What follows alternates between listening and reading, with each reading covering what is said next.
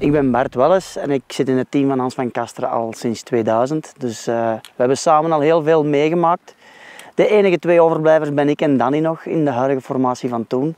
Dus uh, ik heb er al heel veel de in passeren. Dus eh, uh, hele mooie jaren gehad.